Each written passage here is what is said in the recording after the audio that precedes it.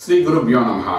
మిథున లగ్నం గురించి మనం మాట్లాడుకుంటున్నప్పుడు శుక్రుడు విపరీతమైన రాజయోగము బుధుడు లగ్నాధిపతి కాబట్టి మేధస్సు లగ్న చతుర్థాధిపతి ఉన్నాడు కాబట్టి కేంద్రాధిపత్యం పొందాడు ప్రతి గౌడాధిపత్యం కూడా పొందాడు కాబట్టి వాడు చతుర్థంలో కానీ ఉంటే విపరీతమైన రాజయోగం ఉచ్చస్థితిలో ఉన్నాడు కాబట్టి రాజమార్గంలో ముందు తీసుకుంటాడు అసలు మనిషి జీవితంలో ఏంటంటే ఒక మేధస్సు చాలా ఇంపార్టెంట్ రోల్ ప్లే చేస్తారు ఎలా ప్లే చేస్తుందంటే మీకు ఎన్నున్న మేధస్సు ఆ మెదడు ఆలోచన శక్తి అనేది కరెక్ట్ లేనప్పుడు ఎన్ని వేల కోట్లు ఉన్నా సరే ఒకటే ఏమి లేకపోయినా ఒకటే. మనం చూస్తుంటాం కొంతమంది వ్యక్తుల్ని శరీరం అంతా బాగుంటుంది ఇక మైండ్ మెచ్యూరిటీ లేకుండా వాళ్ళు ఇబ్బంది పడుతూ ఉంటారు. వాళ్ళకి ఇరవై ఏళ్ళు చేరా ఇరవై ఏళ్ళు వచ్చి ఇంకా మైండ్ మెచ్యూరిటీ లేరా అంత చిన్నపిల్ల వాళ్ళకి వ్యవహరిస్తున్నాడు దీనికి కారణం అంటే వాడి జాతకంలో బుధుడు అనేవాడు బలహీనం ఉండడం వల్ల. బుధుడు చాలా బలహీనపడిపోవడం వల్ల జరుగుతుంటాయి. అంటే స్వతహాగా బుధుడుకున్న క్యారెక్టర్ ఏంటంటే మేధస్సును పెంచడం ఆలోచన శక్తి పెంచడం నర్వస్ సిస్టమ్ పర్ఫెక్ట్గా ఉంచడం బ్లడ్ సర్క్యులేషన్ బాగా చూడడం. ఇలాగే ఇంటలెక్చువల్గా మనిషిని ముందుకు తీసుకురావడం స్పాంటేనియస్గా రియాక్ట్ అవ్వడం ఇలాంటివన్నీ పనులు బుధుడు చేస్తుంటుంటాడు.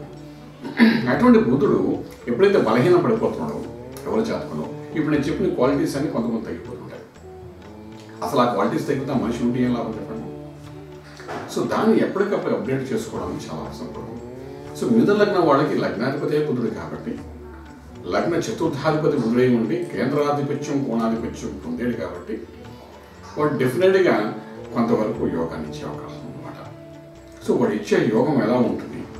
ఆ యోగాన్ని ఎలా బలోపేతం చేసుకోవాలి అనేది చాలా అవసరం పడుతుంది. సో మిథున లగ్న వాళ్ళు ఎవరైనప్పటికీ ప్రోగ్రామ్ చూసేవాడు ఇమీడియట్గా వాడి గురుడు ఏ స్థానంలో ఉన్నాడో చూసుకోవడం చూసుకుని ఆ స్థానము వాడి యొక్క శత్రువు యొక్క క్షేత్రమా మిత్రక్షేత్రమా అనే దృష్టిలో పెట్టుకుని మిత్రక్షేత్రం అయితే ఎలా బలోపేతం చేయాలి ఎవరితో కలిసి ఉందో చూసి ఎవరు దృష్టి పడిందో చూసి దాని ప్రకారము వాళ్ళకి చేయాల్సిన సంస్కారాలు చేసుకుంటుంది ముందుకు ఇప్పుడున్న ఆలోచన కంటే అద్భుతమైన ఆలోచనతో ఈ లౌకిక ప్రపంచంలో బతకడానికి కావాల్సిన బలాన్ని ఇస్తామన్నమాట ఎంత జ్ఞానం ఉన్నా మేధస్సు లేనిది ఆ జ్ఞానాన్ని పంచవలేము.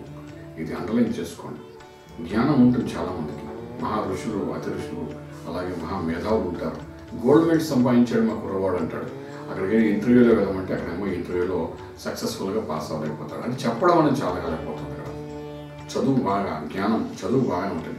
చాలా మంది పుస్తకాలు పూర్వలా పుస్తకాలు మొత్తం అంతా స్వా స్వాహా చేసేస్తారు. ఒక్క లెక్చర్ ఇవ్వరా అని చెప్తే ఇవ్వడానికి అందరి ముందు కూర్చి మాట్లాడలేకపోతుంటారు అంటే దాని మేధస్సు రూపంలో మార్చలేకపోతాడు బియ్యం ఉంటుంది అన్నం చేస్తేనే దాని యొక్క ఫలితం ఉంటుంది. బియ్యంగా చూసి ఎవరు తెలియదు కదా. జ్ఞానం బియ్యం లాంటిదంటే అన్నం అనేది మేధస్సు లాంటిది. సో దాన్ని సంపాదించుకోవాలంటే బుద్ధుడి యొక్క బలం ఉండాలి. సో ఆ బుధుడి బలం ఎలా ఉండాలి అనే విషయాన్ని మరొక ఎపిసోడ్ మరొక విశేషం తెలుసుకుందాం. శుభం పియాలి